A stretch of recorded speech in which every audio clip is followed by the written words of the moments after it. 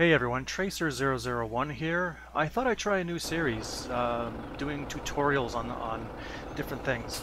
And for me, I ran into an interesting little problem with the manual attachment mod, which I've never used before, uh, other than this map here. So I, I brought my uh, mower up to the field, I tested it out, and it didn't work. So let me just show you what I did. So you get in the, you get in the position, you hop out, you hit Q to attach it.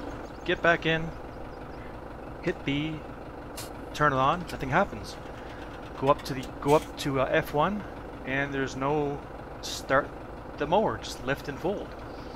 So what I what I found out, and I didn't know this before, is that you actually have to come in come in here, hit the Z key, and there you go.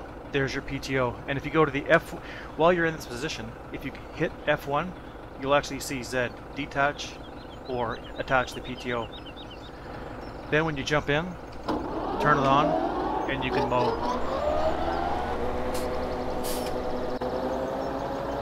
And of course, when you come back here, and actually this should probably be on the other side when I jump of the trailer, not this side.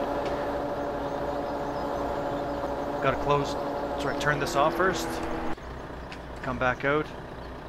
And of course you can't hit Q first, because you have to detach the PTO, and then detach the implement, and then you can go.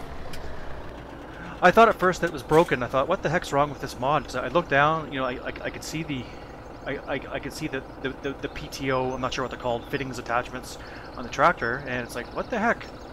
So if you run into that problem, um, check the F1 F1 menu when you're back connecting, and that should uh, that should do it for you. So if you have any uh, comments or suggestions, please drop them below, and uh, thanks a lot for uh, for watching, and have yourselves a great day until next time.